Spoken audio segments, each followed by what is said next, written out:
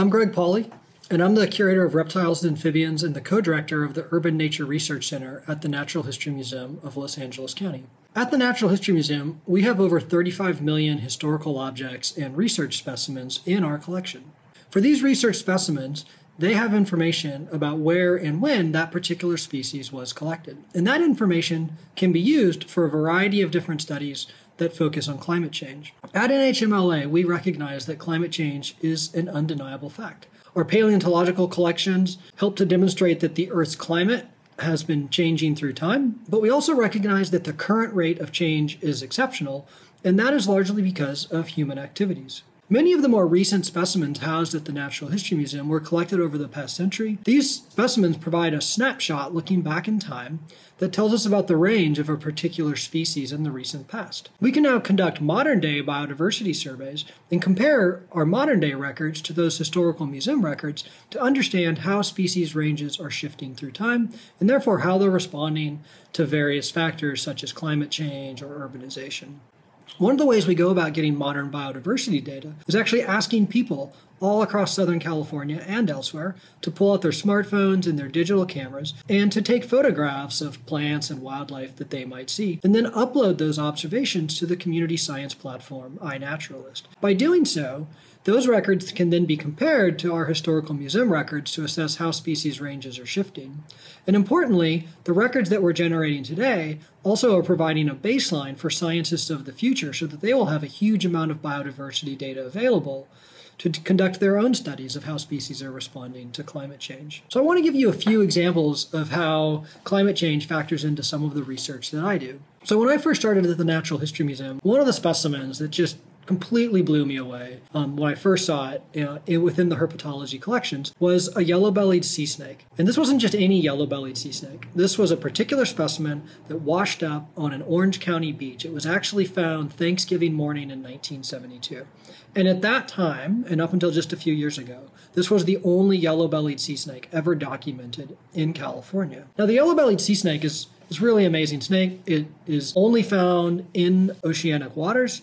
So if this animal gets washed up onto the beach, it actually can't even it can't even crawl back into the water. Its its body is so adapted to this fin-like structure that allows it to be a great swimmer that it actually can't move that well on land. This is the most wide-ranging species of snake in the world. It occurs throughout the warmer waters of the Indian and the Pacific Ocean. So it goes east coast of Africa to the west coast of the Americas. But in terms of thinking about its distribution along the Pacific coast of the Americas, it only gets as far north as about the southern tip of the Baja California Peninsula until this specimen was found in 1972. Now, if you think about climate change, of course, one of the things that we expect is that we expect ocean waters to be warming. And given that expectation, the first species that we expect to be able to respond to that are those those are the pelagic species, so the species that are found sort of moving around in open water. And the yellow-bellied sea snake is actually also sometimes called the pelagic sea snake because it is this open water specialist. And so that first specimen showed up in 1972, but just in the past few years, five more specimens have been documented off the Southern California coast. So what we see is exactly as predicted. We see that ranges of this pelagic species are actually responding to these warming waters.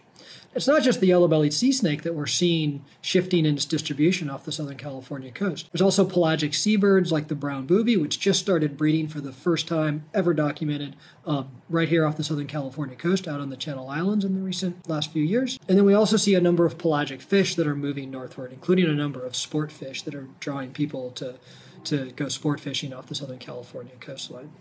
So that's one way in which some of these distributional records are, are able to inform how species are responding to climate change. Now, climate change impacts a huge diversity of you know, many different aspects of sort of the biology of various species. So one of the things that I started doing with some of these iNaturalist observations is actually not just using them to study when and where a particular species was found, but actually using the content of that image to study that species as well. And I got particularly interested in using those images to study mating behavior in alligator lizards. So each spring, um, for our local southern alligator lizard and further north, the northern alligator lizard, the male alligator lizard, um, the adult males will go up to a female and will bite that female sort of on her head neck region. And they'll maintain that bite hold for a prolonged period of time, sometimes several days. And if people see that, they can upload photos Um, they can either email them directly to the museum or they can upload these photos to this iNaturalist platform.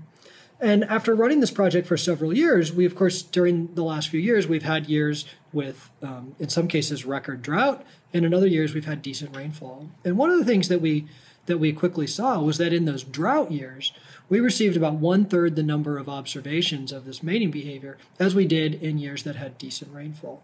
And the reason that this is significant is that you know, under many climate change models, we expect increasing numbers of drought, we expect increasing variability um, in our overall weather. So some years above average rainfall, other years, you know, sort of drought years. And so that could have a huge variety of impacts on species. And so it looks like one of the impacts that we're seeing is that it's having an impact on the number of individuals that are actually mating. And in these years that we see very few individuals mating, what we also see is that in the in the midsummer when we typically see hatchlings is that in these drought years we see very few hatchlings as well um, midsummer. So what this tells us is that as we start to see this increasing variability in weather, um, longer, more prolonged droughts, that that's going to have a number of downstream impacts, including in the case of the southern alligator lizard, potentially greatly reducing their reproductive activity in those drought years, which then could have long term impacts on the stability of some of these populations. There's a variety of ways that climate change is factored into diverse types of, of ongoing research. And one of the things I want to again highlight is that all of you can actually participate in studying biodiversity and participate in documenting some of the ways that climate change are impacting some of our local species. So you can also think about this as creating your own biodiversity data legacy. Um, you yourself can pull out your smartphone, pull out digital your digital camera, and start uploading observations to platforms like iNaturalist, creating the sorts of um, observations that researchers like me can use in, in our ongoing research, but also creating this biodiversity legacy that researchers of the future are then going to be able to mine in conducting future studies of climate change.